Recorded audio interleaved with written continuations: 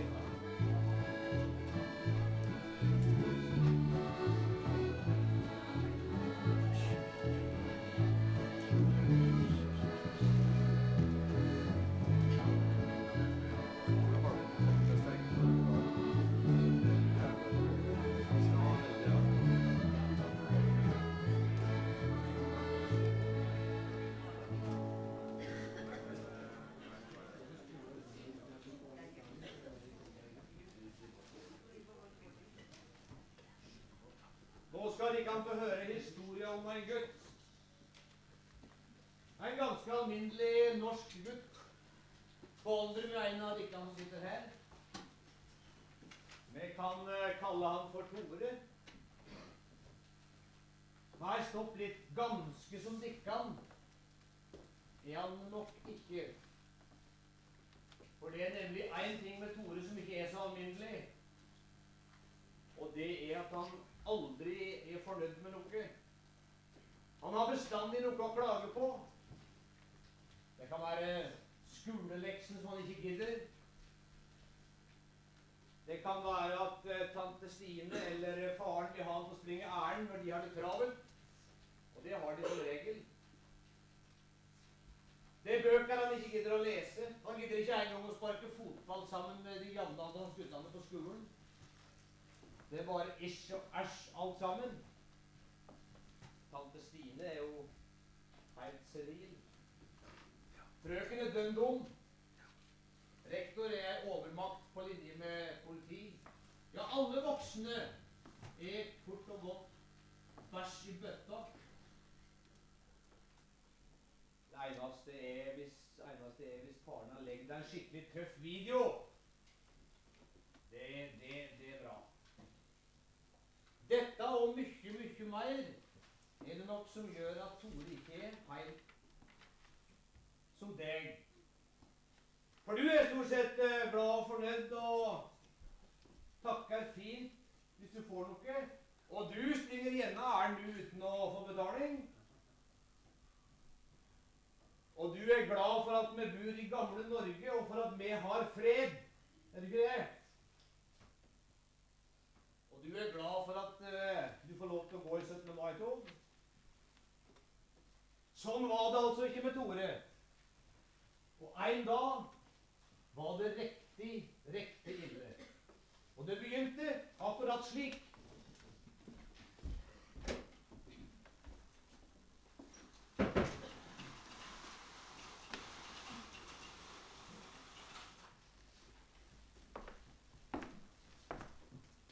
Hei, tante. Å, hei. Så er du hjemme alt det? Ja. du hatt i dag, da? Ah, det er nok å stå i med. Det er vel så det. Har du koka kaffe? Ja. Vil du ha en kopp, kanskje? Ja takk. Det er noe så kruftig og kaldt der, vet du.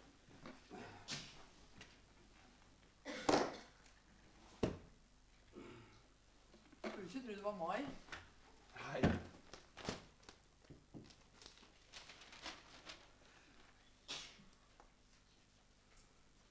Hm. Krig. Krig. Krig. Pengetransport Rana. Hm. Søskenpar på, på 82 og 85 år blei i går overfalt i sin egen bolig. Blei funnet blodige og forslått. Ja, det, jeg har sagt det før. Og jeg sier det igjen. Pøbler er det. Altså gamle mennesker har blitt. Heime i sin egen stue. Bankfunksjonen er dømt for underslag. Sikker som banken. Ha! Oi, se her. Fallskjerm på 5,8 millioner kroner til tidligere direktør O.K. Gundersen. Ja, tenkte jeg det ikke. Huff da. Ungdommelig drikkelag nær drukna under vill fart i passbåt. Vold og mobbing aukar i skolen. Jeg finner ikke ei eneste gladmelding eh, i denne avisa, tante. Nei, det er det jeg sier. Det er noe gærent med oppdragelsen. Hvis etterkrigsforeldrene har vært altfor opptatt av å tenke penger, skal jeg si det. Hørte du hva jeg sa? Børsnoteringer. Når Den norske bank selger 17, kjøper 17 omsatt. Bergensk Skillingsbank selger 42, kjøper 41 omsatt. Det er kanskje snart eh, tida, tante, for å sele noe av disse aksjene mine? Ja, men du, eh, du levde i ei annen tid, du vet du. Jeg kan jo ikke vente at ungene blir noe annet enn den voksne verden steller i stand. Du kan jo se på all videovolden. Hvem som steller i stand det, kanskje? Er ikke det de voksne? Å ja. Mesteparten av det er nå bare eventyr. Eventyr, liksom. Tror ikke det er spørsmål om penger, kanskje? Litt moderne må det være. Tante, ungene må da ha noe de eh, liker, de òg. Akkurat, ja. Der har vi det. Du kan jo se på Tore, sønnen din. Tore? Er det ikke du som oppdrar han? Tore, du er en eh, Tore, du er en snill gutt. Ja, jammen sa jeg snill gutt. Å nei. Uoppdragen er han. Direkte uoppdragen. Han raser rundt som et fyrverkeri med disse krigsleikene sine. Er det ikke du som kjøper alt det, kanskje? Jeg har ikke ord engang. Nei, det der skulle vært oss. Der ser du. Du kommer stadig tilbake til din egen oppvekst. Du som levde i disse elendige 30-åra med arbeidsledighet og, og fattigdom. Hva er det vi har i dag? Er ikke det arbeidsledighet? Nei. Jeg skal si deg en ting, Jeg, verden ser ikke ut til å ha forandra seg det grann, skal jeg si det. Jeg skal si deg en ting, jeg. Arbeidsledighet er det verste som kan hende. For da kan det bli krig før du vet ordet av det. Du kan jo se på hva som hendte i 30-åra. Tror ikke jeg husker det, kanskje? Det er faktisk 50 år sia. Du kan jo ikke vente at eh, du skal være opptatt av den tida nå. Nei. Med Ja, ikke du heller har eh, aldri hatt det så godt som en har det nå. Satt ikke du akkurat og leste om en hel masse elendighet i avisa, kanskje? Ja, Men det gjelder da ikke oss. Gjelder ikke oss. Nei. Det er visst ikke noe som gjelder oss. Ikke deg, i hvert fall. Det skulle ikke forundre meg om du en vakker dag kan finne på å si at eh, krigen før 45 ikke gjaldt deg. For du var jo ikke født engang. Jeg ser nok hva du står der og tenker på. Nei. Ærlig talt, eh, tante Stine, sånn er det da ikke. Jeg husker og jeg eh, Du har fortalt oss om den gangen du var med i motstandsbevegelsen under krigen. Ja, den gangen som du kom ut på tonet og, og ropa brann. Og soldatene sto der ute, og borti låven lå flere av brødrene dine med fullt krigsutstyr. Du hadde sett fyr på sildefett i, i steikepanna di. Og tyskerne blei så forfjamsa at de glemte alt sammen da du tok fyr i forkleet ditt. Det var bragd. Hva skulle jeg gjøre for noe? Det hadde vært en visse død for oss alle sammen, skal jeg si det. Det var vel eh, Det var vel litt spennende òg. Nei, vi tenkte ikke sånn, vi. Jeg tror kanskje det, tante, at de unge i dag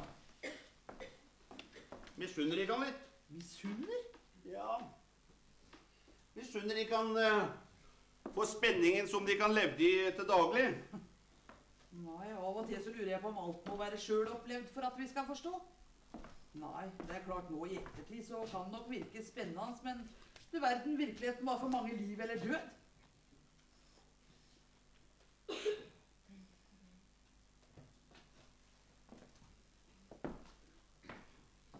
Det er faktisk 50 år sia krigen. Du kan ikke vente at ungene i dag skal være opptatt av den tida. Så sørger også jammen dere voksne for at ungene foras med all verdens stygdom. Du kommer her settende med parabolantenner, med krig og krim og porno, jeg vet ikke hva. Ungene skal ha spenning, sier du. Kunstig spenning hele tida. De må jo bli helt forvirra, stakkars. Du kan jo se på Tore. Han fyker rundt som en orkan med disse pistolene og krigsleikene. Er ikke dere oss voksne som skaper alt dette, kanskje? Og det gjør dere bare for å tjene penger på ungene, skal jeg si det. Så, så. Så, så. Det blir nok folk av de her, skal du se, tante. Så, så. Det sier du, det, men det sier jammen ikke jeg. Og det er så mye du vet det. Det verste er at du har glemt alt sammen. Ser ut som du har glemt din egen far. Hæ? Glemt min egen far? Det har du da ikke gjort. Vi skal jo feire fredsjubileum i år, tante. Ja, 50 år siden freden. Hva det du hørte hjemme og fikk styr på guttungen din. Nei. Om dere nå bare kunne få de unge til å forstå hva virkelig fred er for noe. Men alle disse forferdelige lekene som gjør ungene til forbrytere. Jeg skal si deg en ting, jeg. At dere har, foreldre har glemt å sette grenser, skal jeg si deg. Det er det de mangler. Hørte du hva jeg sa? Ja, Grenser. jeg, eh, jeg hørte det, tante, men eh, jeg har ikke tid til å prate med deg mer nå, for jeg skal på fredsjubileumsmøte. Ja. Ha det så lenge. Jo, ha det.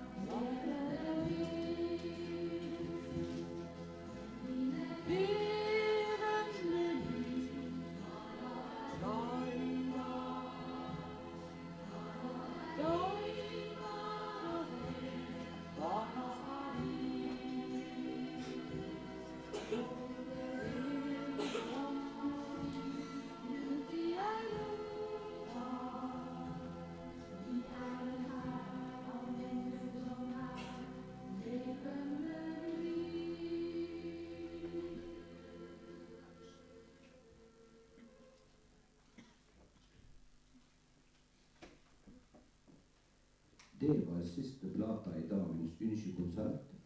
Og vi setter nå over til Oslo Børs for å få de siste børsnoteringene.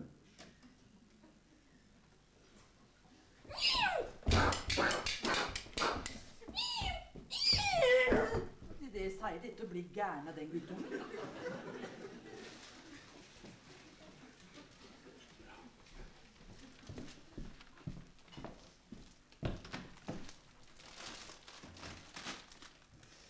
Tore? Du! Jøss, hva er det du holder på med? Du! Hva er det du snakker om? Dø. Ja, hvem er det som er død? Fienden. Det der jeg tror du er helt tullerusk. Jeg tror det er garnnøsten min.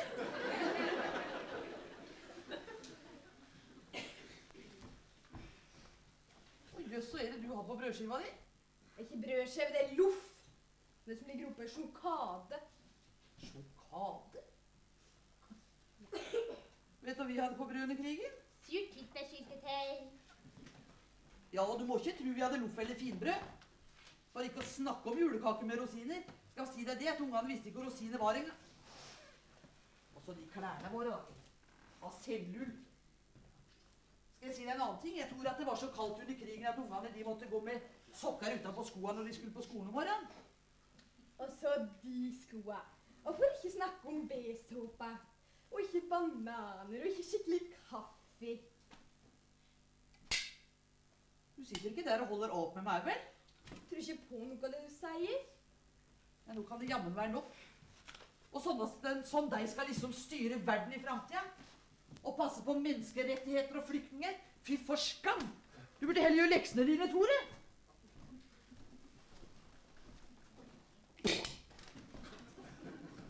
Det er Rico. Mega. Bare snakker og snakker.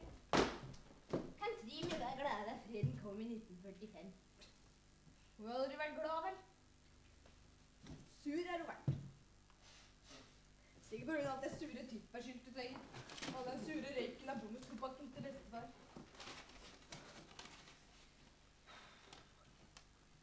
Norsk. Skriv et fredsdikt. Skriv et fredsdikt, ja. Det var den morsomme oppgaven, frøken Andersen. Matematikk. Brøkregning. Det var bruk på brøkregning, da. Lærerne, kanskje. Rektor, Ja, sikkert. Hva den han sa. Nå, Tore, må du slutte med å plage medelevene dine. En brøkdel kunne vært nok. Jeg plager vel ikke, vel? Det er de andre som plager meg. Roper og skriker til meg. Det kommer Tore være. Polforskeren og fredsprisvinneren Fridtjof Nansen. Hei, hei, Tore.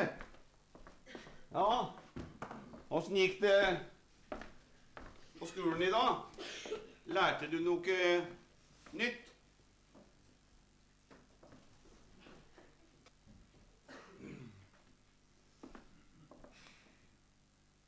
Se her, ja. Fridtjof Nansen. Det er interessant stoff, Tore. Det var han som gikk på ski over Grønland, var det ikke det? Hæ? Nesten eh, like sprek som meg, ja. Ja, for du har vel hørt, eh, Tore, at pappa ble kretsmester i langrenn for eh, en del år siden? Hæ? Tulla. Se her, ja. Skriv et, skriv et dikt om fred. Flott. Flott, flott, flott. Frøken Andersen sa det. Og rektor sa det når han kom innom klassa i dag. Nå sier du òg det. Ja, men her står, det- her står det jo litt i norskboka om hvorfor du skal lage diktet. Om det er fred, behøver eh, ingen å flykte, Tore. Se. Ja, men står det om flyktninger her òg. Jo, flyktninger overalt, jo. Hvor er det i grunnen flyktninger, da? Ja, det, det er fordi at det er krig, det. Hvorfor er det krig, da? Hvorfor det er krig? Ja, det er fordi at det mennesker vi har makt. De vil bestemme over andre. Og da blir det hat, undertrykkelse og forfølgelse av mennesker som mener noe annet enn de som har makta. Så flykter de. Ja, helt riktig. Så lenge de ikke er fred et land, ja, da vil det alltid være mennesker på, på, på flukt. Ja, det gjorde vi òg, det. Her hos oss. Har vi vært flyktninger? Nei, ikke akkurat det. med i vår familie, men eh, Ja, under krigen var det mange her fra Norge som rømte over til Sverige. Og noen reiste over til England, og noen kom seg helt over til Amerika. Det ville jeg ha gjort. Det ville du nok. Det er bare det, Tor, at de kan, ungene de kan forstå de kan ikke på dette med krig og, og fred. Forsto du det da du var gammel som meg, da kanskje? Nei, jeg eh, gjorde vel kanskje ikke det. Jeg var jo ikke født der, Tore, når eh, freden kom i, i 1945. Ja, sånn til vanlig så var jeg vel mest, eh, mest opptatt av alt det nye som kom i, i butikkvinduene. Men alt dette her kan du spørre, spørre tante Stine om. Hun veit en masse, hun. Hun var jo med i motstandsbevegelsen. Tante Stine? Hun er så dum at Snakka bare om rasjonering og surt tyttebærsyltetøy. Om at bestefar dyrka bondetobakk i kjøkkenhagen. Så det er masse annet tull om gutter som rømte til skogs og leika soldater. Og det var bare og moro, det. Ja, det tror du nok. Når blei det? Hm. Ofte så lurer jeg på om det nytter å få de unge til å forstå. Ja, ta lærdom av det som hendte under krigen. Det ser nesten ut til at de må oppleve alt sammen sjøl. Du veit når unge mennesker i dag Unge mennesker nekter å tro at det var sant, det som skjedde under krigen. Ja, da er det i grunnen håpløst, det aller meste. Det er flotte, flotte saker vi har, ungene i dag.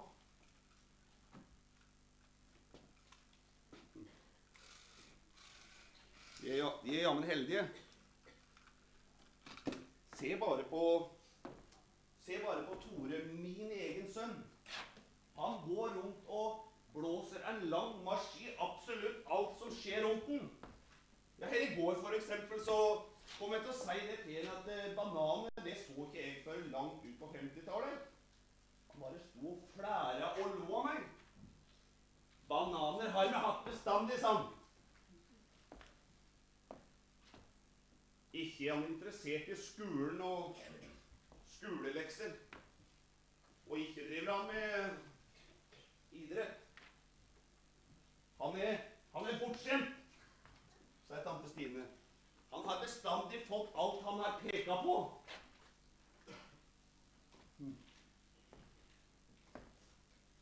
Flinkere på skolen er han i hvert fall nødt til å bli om han skal leve opp til sin far. Jeg bør Jeg bør kanskje prate litt med ham. Ta et eh, alvorsord med den.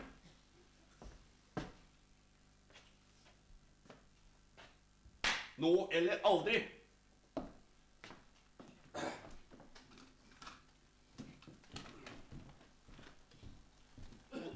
Tore. Tore! Tore!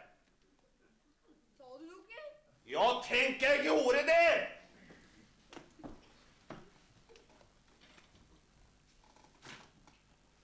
Nå skal Nå skal jeg si deg et alvorsord. Jeg tuss og har lagt merke til det, Tore, at du ikke bryr deg noe særlig om tante Stine. Stemmer det? Ikke bryr du deg noe særlig om skolen og skolelekser heller? Stemmer det, ja?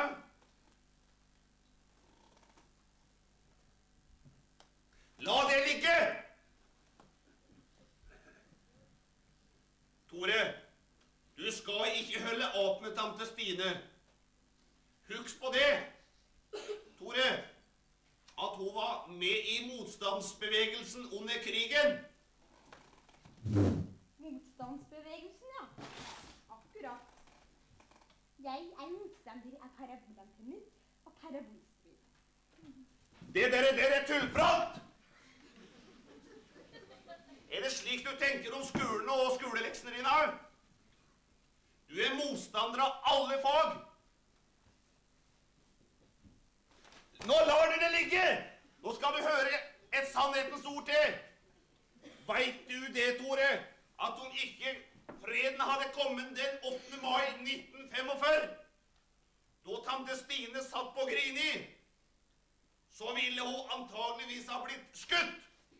Nei, nå kan det være nok! Nå gjør du leksene dine. Gjør leksene dine. Blabb.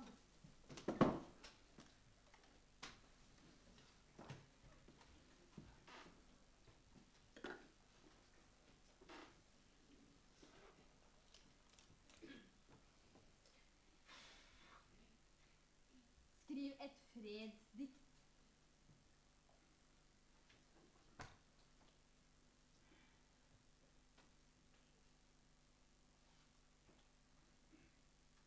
Fred er bæsj.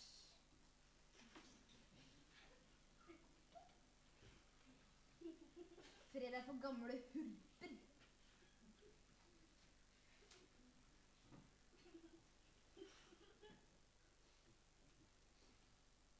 For reker.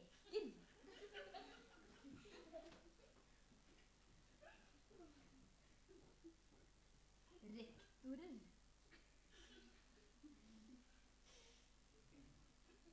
Og pumper.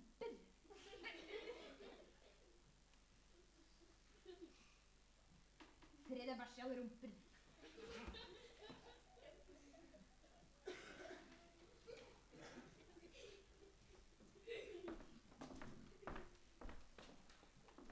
Bra at du leksene dine, Tore.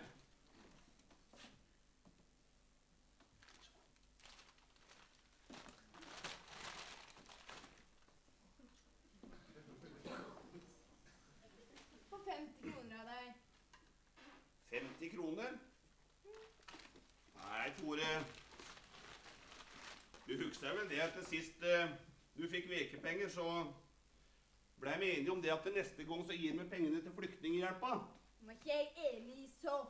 Ja, hvor er de diskusjonene jeg og du ferdig med. Hva skulle du forresten med de pengene, da? Kunne jo bli det samme, vel? Samme. Jeg kunne tenke meg det. Husk på én ting, Tore. At du har veldig mange du, ting du som ikke de har. Ingen penger i dag, Tore.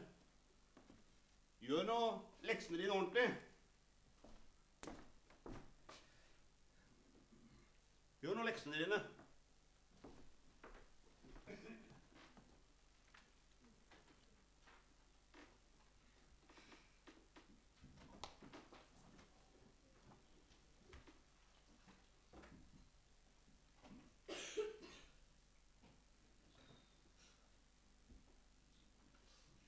Flyktninger og flyktninger og flyktninger. De kan ikke ha det vondt, vel? Tenk på alt det de får, da. Gratis hus og mat og klær. Så slipper de å arbeide. Tenk på det. Trenger ikke gjøre noen verdens ting. Kanskje de ikke trenger å gå på skole heller.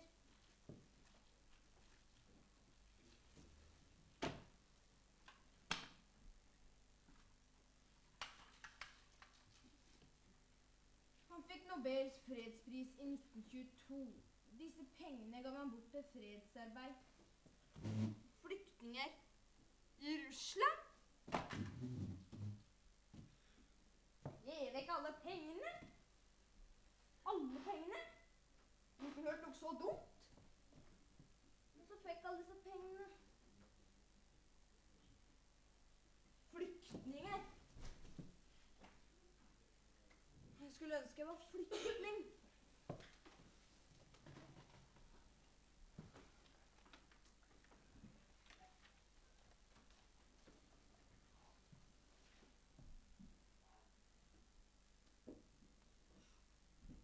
Tore, du burde flykte, Tore.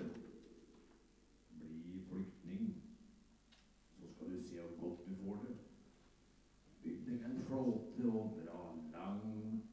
langt ut i verden. Hæ? Tore, bygg deg en flåte og flytt. Flytt!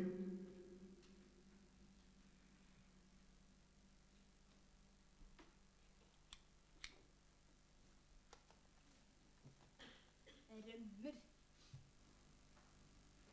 Bygger ei flåte og flykter. Det blir ikke så dyrt heller, det. Jeg bygger ei flåte og flykter. Så slipper jeg å være med hele gamle Norge. Riktig, Tore.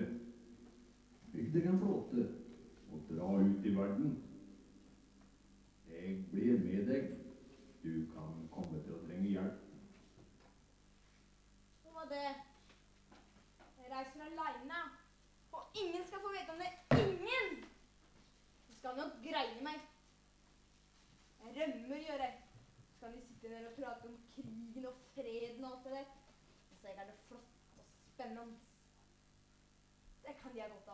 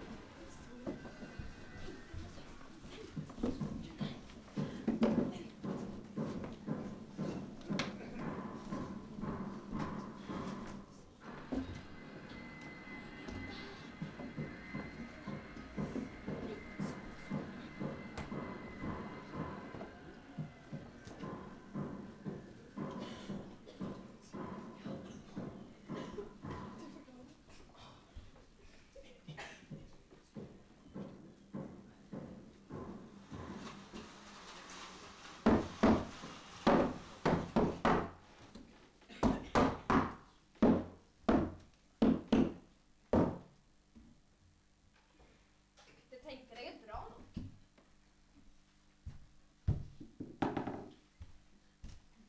Bare få masta skikkelig på plass. Sånn. Nå kan reisa begynne ut i verden. Vekk fra alle plikter og all elendighet. Vekk fra skuen. Og vekk fra tante Stine. Tenk på det. Ikke en skoledag mer. Jeg er flyktning. Hipp hurra. Men hva er slutt?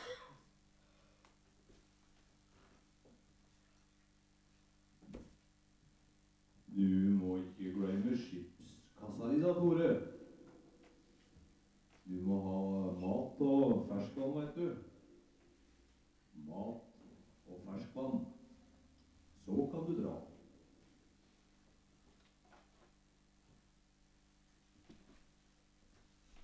Hva var det?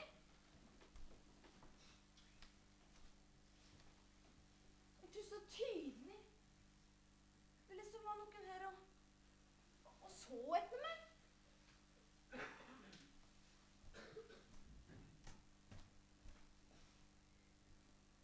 Nei, ingen her.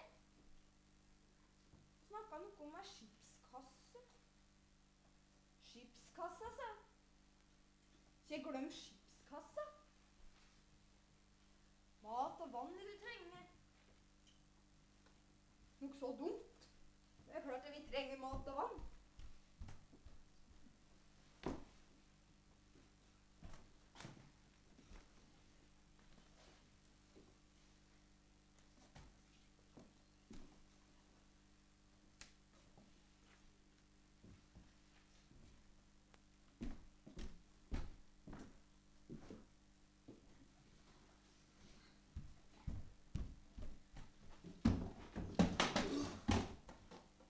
Oi. Det var tungt. Sånn skulle han hatt slaver til. Vikingene hadde slaver. Ja, amerikanerne òg. Alle hadde sikkert slaver. Kanskje noen har det nå òg?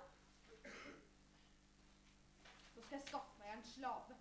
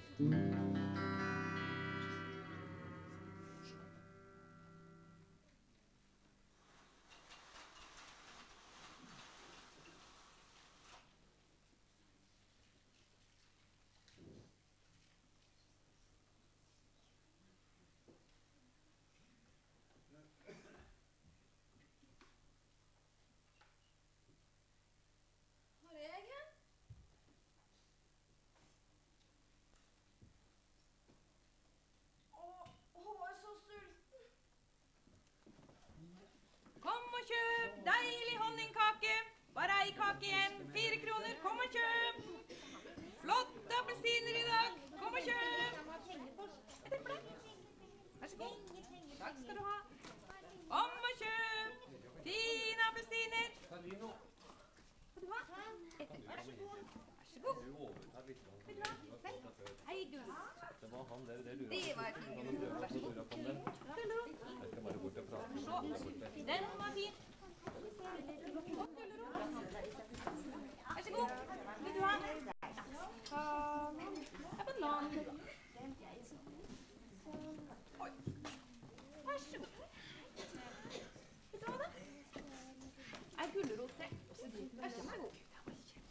Hei, og her går handelen bra. Ja, her går det bra.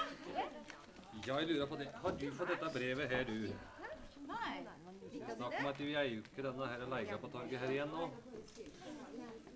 De kan jo ikke finne på det nå igjen. Ja, det ser visst ut at de kan finne på de meste, de som styrer her.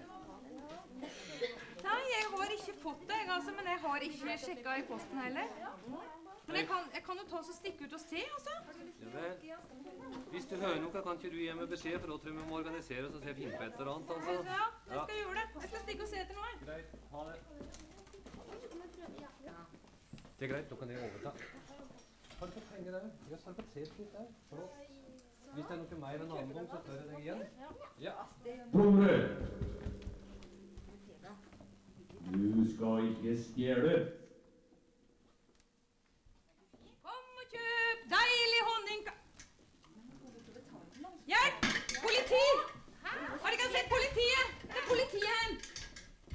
Hjelp, da! Ja, hva er det om å gjøre? Jeg har Tatt kaka mi. Hvem har tatt kaka di? Ja, det sto en gutt her, han Han der! Du, kom her.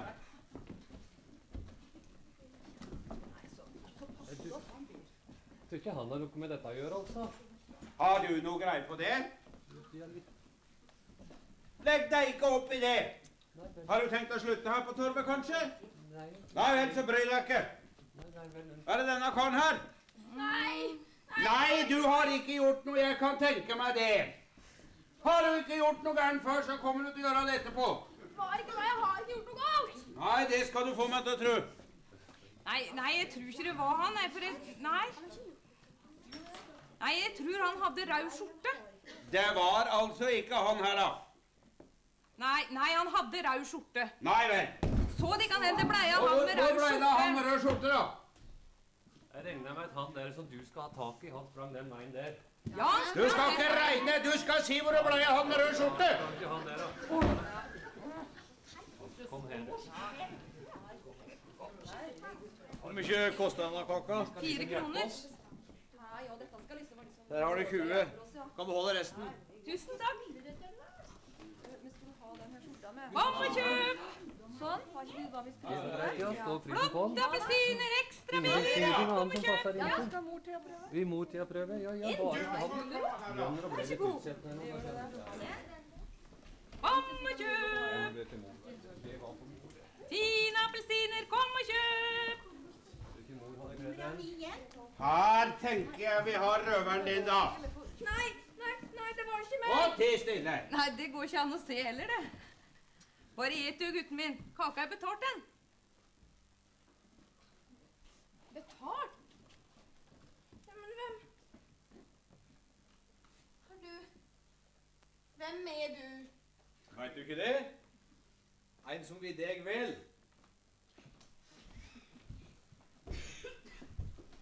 Kunne det være noe å bråke for da? Når du ikke engang veit om kaka er betalt? Eller ikke betalt? Det er kanskje ikke honningkake heller? Eh, jo. Du er sikker på det, da? Ja. Politiet her har annet å ta seg til enn å passe på torvkjerringer som ikke kan telle kakene sine. Bry deg ikke mer før du veit hva du har å snakke om. Hvor blei det av de der figura nå? Det var en merkelig gutt. Og den andre var enda rarere. Ja. Kom og kjøp. Var det noen som ville ha noe å si her? Nei, Nei, så la det være, da. Fine appelsiner, kom og kjøp. Appelsin? Nei, de er vel like sure som dere her.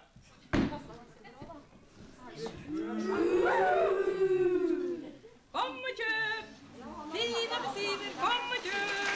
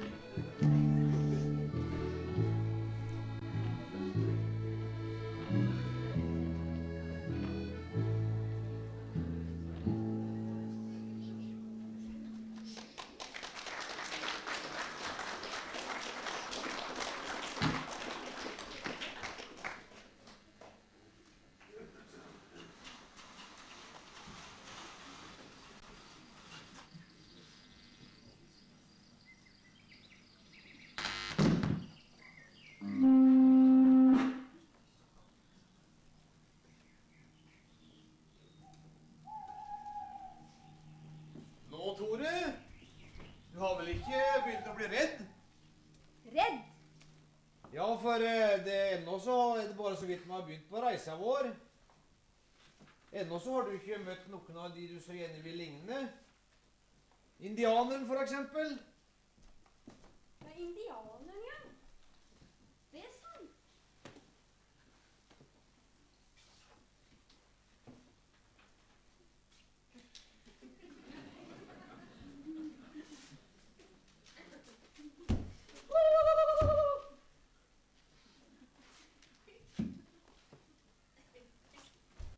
Du skrevegutt!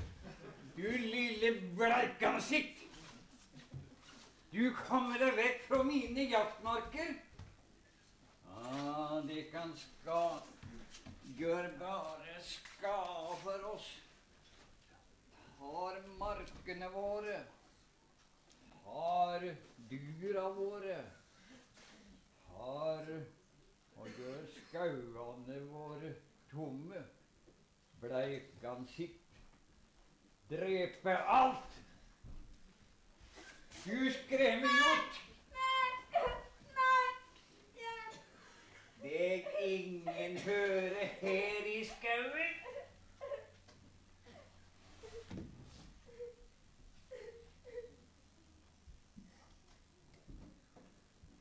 Så, så lille redde gutt. Jeg bare skremmer deg litt. Jeg er ikke farlig. Sorte øl. Bare gammal, snill mann. Sorte ørn? Ja, men da er jo du høvdingen, da. Jeg bor aleine med familien i min vigvam. Jeg lever jakt og fiske i de dype skauene her. Det er lenge siden indianer gikk på krigsstid nå. Derfor ingen høvding lenger. India, indianer vil ha fred. Og ikke indianere på Skarpjakt lenger. Nei, lille venn, du er redd jeg tar huet ditt? Jeg kaller deg min bror. Nå du være med meg til Vigvam og leke med ungene mine. Du er sikkert eh, veldig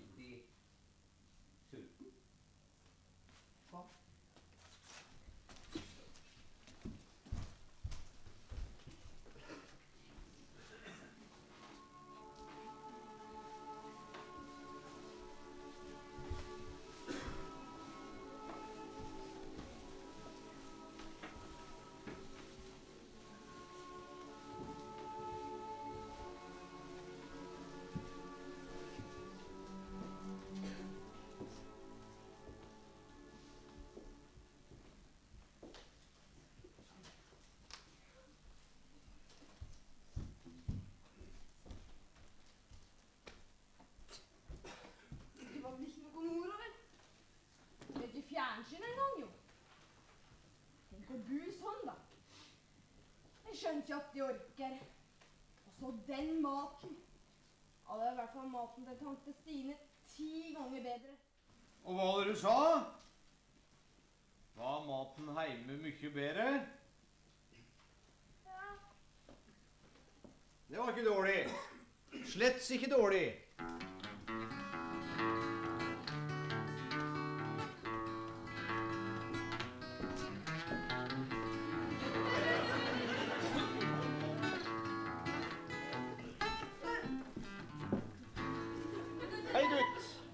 Hva er det du vil?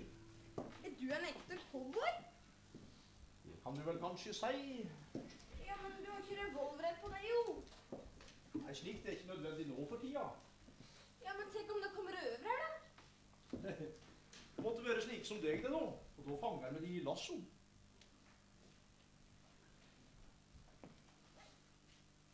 Og der har du revolveren, jo. Ja, den bruker jeg bare i nødsituasjoner. Skyter kan ikke røvere altså? Å nei, det er lenge siden det var slik, ser du. Slikt hender bare på film i dag. Få prøve lassen din. Det kan du godt.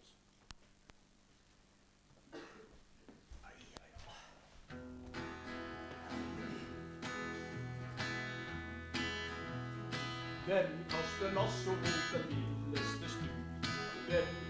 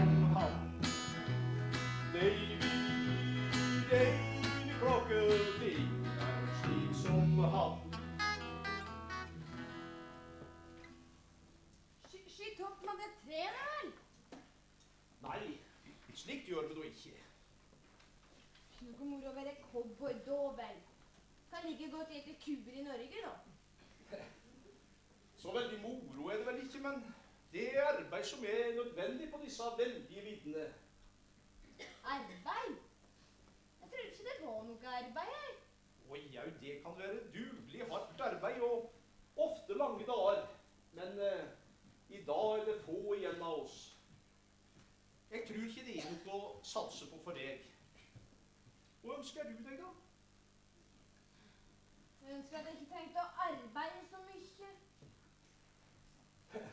Ligge på ryggen og ta det med ro.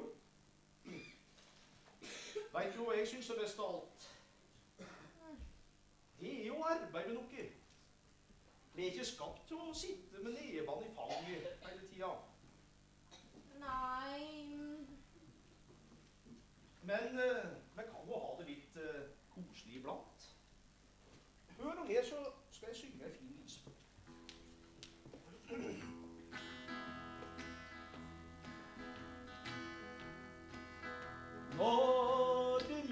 jobb en, og du kan reise din vei, skynd deg hjem, skynd deg hjem når jobb. Her i venter det en pike på deg. Skynd deg hjem, skynd deg hjem når jobb. Hun har din ring, hun har ditt navn, hun går der hjemme. Og hun venter å få lytte til din stemme. Legg din øks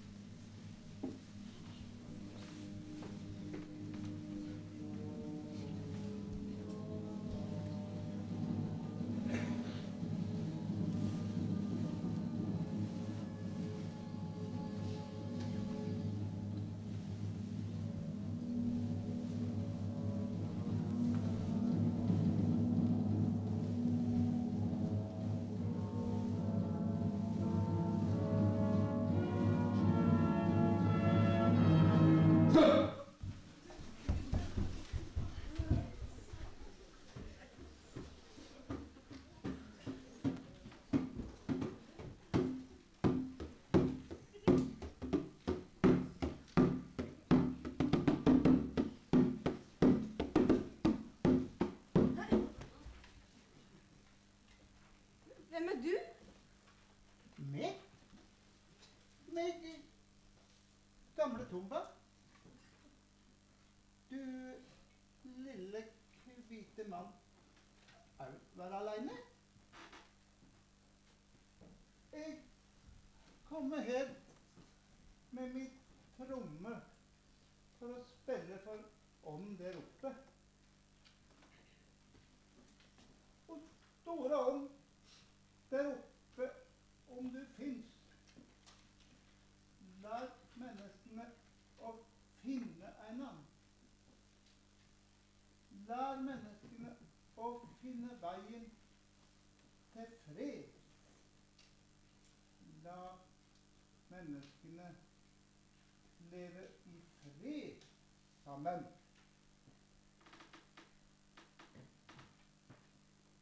Du sov aleine. Du er ikke våpen.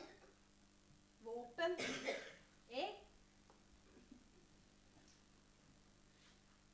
Jeg eh, bestandig passer meg for krigere. Hvorfor sitter du aleine her ute i skauen? Meg være aleine med stor sorg. Med gammel mann nå. Meg snart død. Jeg tenker på ungene.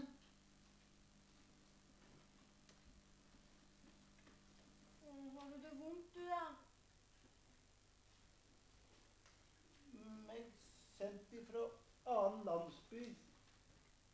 Der meg har liten gutt som deg. Meg ikke lov å treffe han. Det, det var farlig for oss. De tror meg lærer han ikke bli lydig. De, de drepte hans far. De mener han være farlig kriget og ødelegger for hvite mann. Drepte de ham bare? Ja. Ja. Ja. De bare komme til landsby. Drepe alle menn. Meg gammal sender meg bort. Du lille gutt, hvor er du? Meg, meg før arbeidet for store, hvite mann. Han veldig rik. Nå, nå er jeg ikke fått se min lille gutt. Da burde du bli med meg. Og Hvor lille hvite mann kommer ifra? Fra Norge, vel? Norge. Meg aldri hørt om. Meg aldri lært. Kule, den bare fra hvite mann. Du skjønner, i Norge det er ingen som behøver å være redde. Ha, ha. Ikke være redde. Nei, nei, nei, nei. men jeg vil ikke tru. Ja, men det er sant. Og det er ingen som sulter heller. Ingen sulter. All, alle være hvite som deg.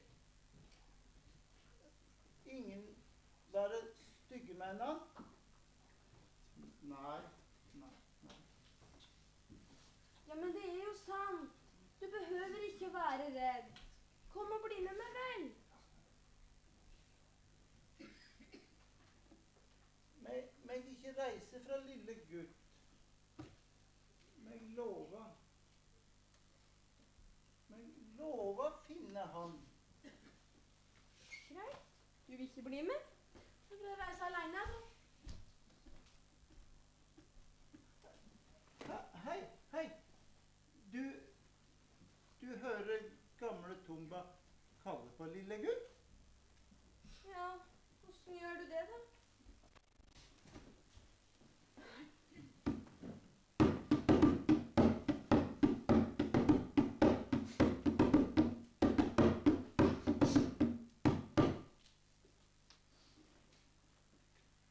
Du skjønner det betyr? Gamle Tomba venter deg ved daggry. Du forstår?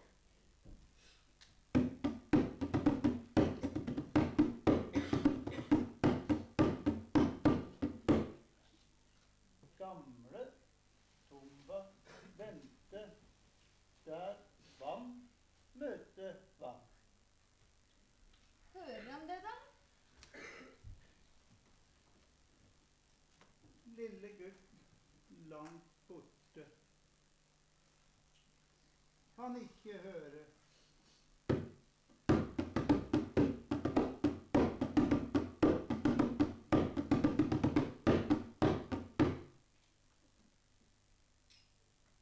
Gå og hent gutten min, da vel. Det, det er ikke gå. Krigere, passa på der han være. Meg kommer hit. De dreper meg. Norge det fred der. Der har det aldri vært krig. Aldri krig. Noe så herlig. Aldri krig. Aldri. Ja. Ja, det har visst det. For 50 år siden.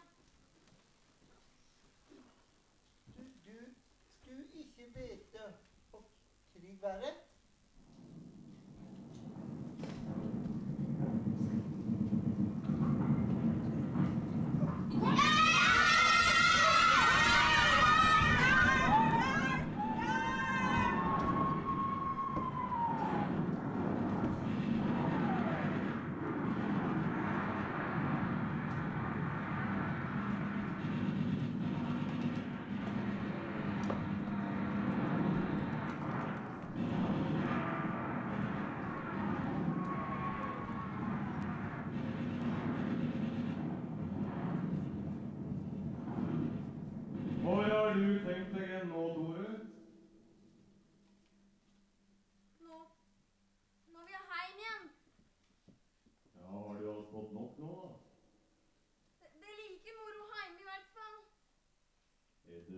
du savner?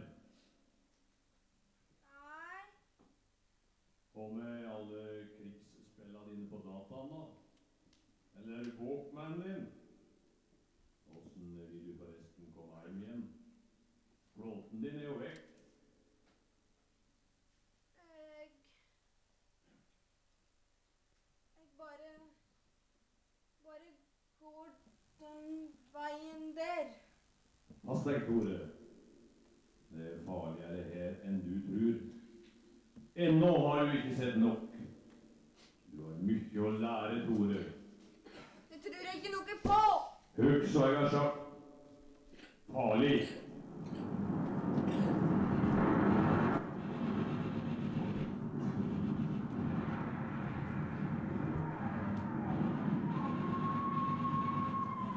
Tore! Tore, du kjenner meg igjen? Jeg måtte bare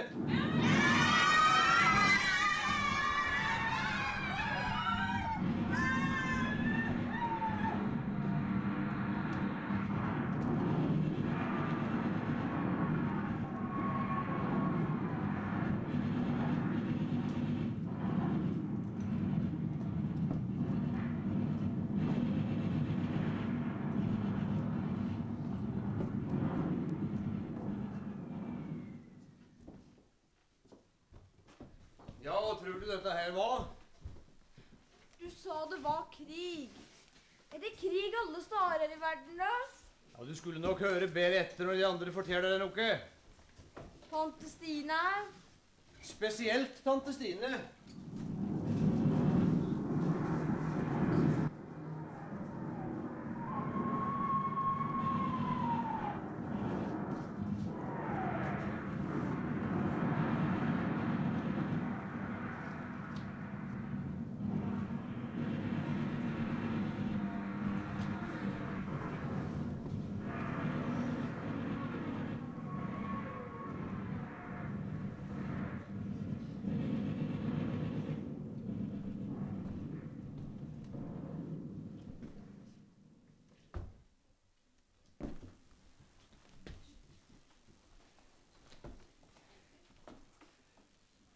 Ser du der borte? Se, langt, der borte sitter de høye herrene. De sitter der og smiler, så fornøyde og tar hverandre i nevene. De får servert sine måltider og drikker vin av edel årgang. Fjernsynsselskapa kommer og spør åssen det går med fredsavtalene. Spør åssen folk har det. De spør ikke meg. Enda fortalt til det. Alt sammen. Jeg sto der på høgden utafor byen vår.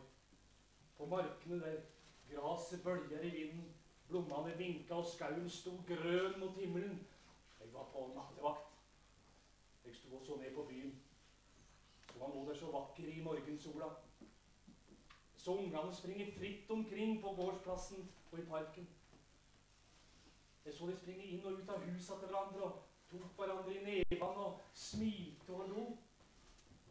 Blant de var mine barn. Jeg tror de tenkte som så Skal tru om far kommer hjem til kvelden? Så mor som kanskje svara Ja, det gjør han nok om alt er som det skal. Fredsavtale er ikke for mennesker som hater. Fredsavtale er ikke for mennesker som vil ha makt. Fredsavtale er ikke for de små. Fredsavtale er ikke for oss. Ikke så lenge de som har makt, og som vil ha makt, bruker oss til å kjempe for seg. Fienden kan godt være bror av en du kjenner. En du har møtt, en som har vært på besøk hos deg. En som dyrker roser i hagen sin og blomster i vinduskarmene. En du en gang har møtt og helst vennlig på. En som plutselig fikk en annen idé fordi et annet menneske sitt maktbegjær begeistra ham. Som fikk han til å tenke det han tenkte, si det han sier, gjøre det han gjør, se det han ser, gå der han går, og rope når han roper. Kom krigen. Den kom brått. Den Søsteren og gnei søvnen ut av øynene og så soloppgangen over byen, der ungene leika fredelig i parken. Jeg hørte de første skudda, kasta meg ned bak jordvollen i skyttergrava. Granatene slo ned rundt meg. Au! Kjente en stian, sti, stikkende smerte. Au! Kjenner blod på klærne. Mitt eget blod. Men det verste av alt, i samme sekund ser jeg byen bli forvandla til ruiner av bomber, raketter og granater. Jeg ser mødrene springe fortvila omkring i ruinhaugene og leite etter ungene sine. Det er min egen hustru, det her. Mine unger!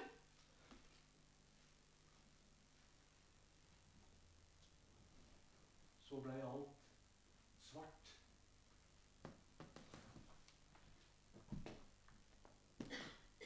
Se på meg. Et offer i krigen. Jeg var en soldat, men krigen lemlesta meg, drepte mange av kameratene mine og dreiv mange på flukt. Kvinner og barna. Høge herrer sitter fremdeles rundt bordet og gjør avtaler. De tar hverandre fremdeles i nevene og freder hval, katter og ulv. Men lar menneskene være fredløse. Jeg gikk ned til byen som en gang lå der i ly bak høgdene. Leita i ruinene og fant rester av huset jeg en gang bodde i. Plyndra, tomt, smadra.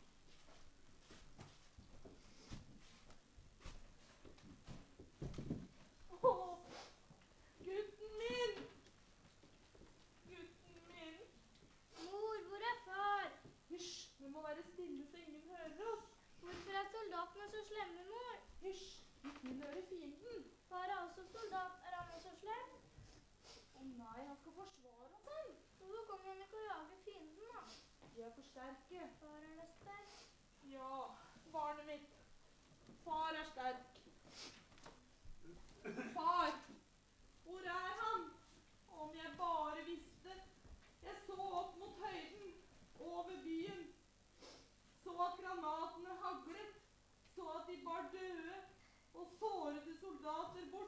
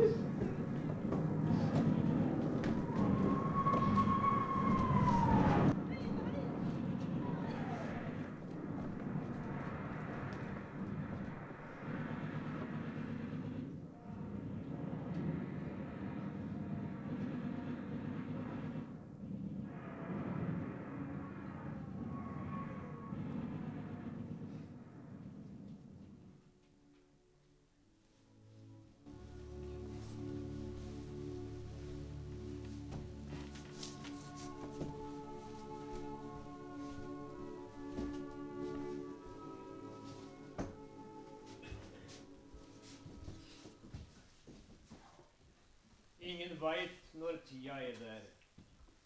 Når en ser inn i skyggelandet uten å se igjen det en venta. Utafor tanken, bak natta, stiger det fram et bilde av deg som ennå var så ung, men gikk ut ord dagen og inn i skyggelandet.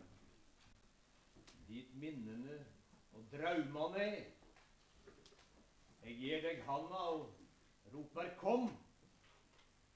Jeg står lenge og lytter etter svar, men i rommet utafor tanken er alt stille. Det fins ikke ord. Tanken sviver som svarte fauler inn i sorgen, sprenger seg inn til ufattelige grenseganger. Så ung. Jeg ser du går på en vei bak grensene, aleine. Nei, du er ikke aleine. Dit du går, står mange og venter deg, vinker på deg og roper 'kom'. Du går mot de, griper de i hendene og går djupere inn, bak grensene til grensene, dit ikke engang tanken når. Minnene ligger tilbake, tårevåte og tunge. Vi er ennå i dagen, skal være der så lenge den er vår. Og vi har draumene i oss, de som når lengst. Bak tanken og bak alle grenseganger. Der vil de finne deg. Og du går med oss inn i skyggelandet, der minnene er som levende lys, inn til vår egen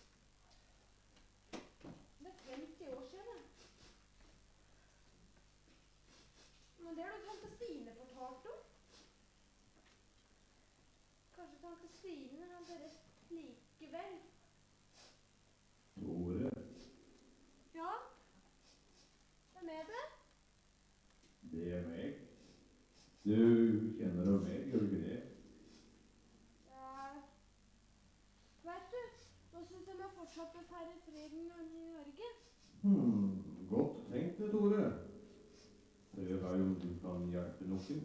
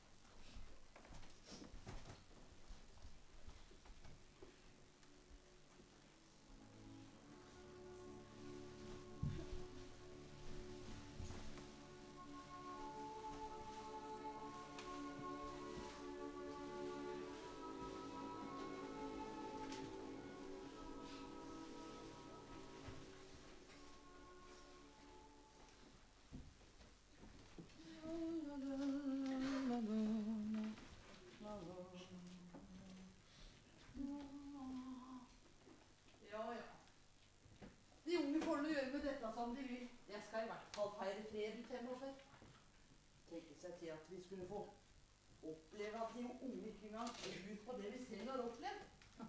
Følt på egen kropp. Ja, det er så sant. Vet du forresten, jeg leste i avisa her om dagen. Her er det fly flinta. Dette med konsentrasjonsleir skulle bare være noe de har funnet på for å drive propaganda. Det skulle jammen brødrene mine ha hørt. Det er kanskje best de er døde. Kan tro jeg husker dem godt den dagen de kom tilbake fra Sachsenhausen. Maidagen 45. Helt skinnmager og blå. Jeg, jeg satt bare på griner. Men jeg husker da fangene ble ført til tårn hver eneste dag for å vente på likvidering. Det kom dødsannonser i avisa mens de ennå satt der. Og sånt skal vi glemme. Nei, sånt skal vi ikke glemme. Forferdelig. Jeg bare kunne få de unge til å forstå. Her har jeg prøvd å fortelle Tore om krigen, om freden, for 50 år siden. Og så er han forresten lenge siden jeg har sett Tore. Ja, ja. Han ligger vel og drar seg under dyna som vann. Å, jeg er så trett! Klart han er trøtt. Han ligger med dette forferdelige dataspillet og den grusomme musikken til langt på natt. Kunne han ha enda tatt litt grann alvorlig? Bare sludder og vasen. Fred er bæsj. Fred er for gamle turper. Grusomt. Tante!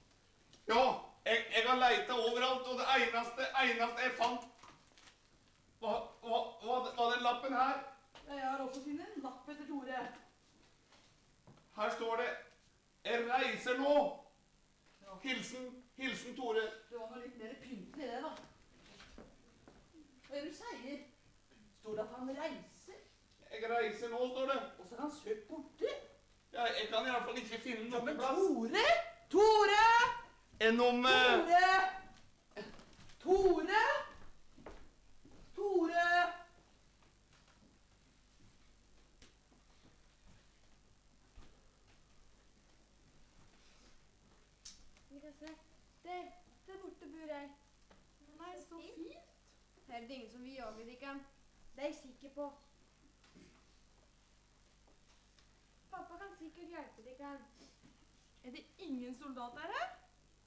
Soldater? Nei. Pappa?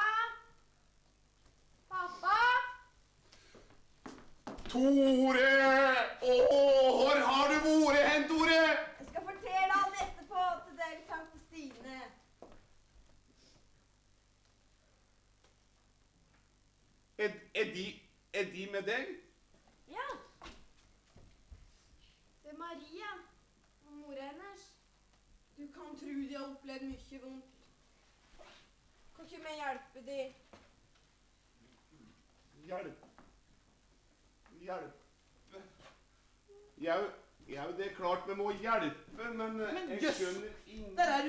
Rakkerunge. Takk, tante Stine, for at du fortalte så mye om krigen. Nå veit jeg at det er sant. Du milde himmel. Bare det jeg?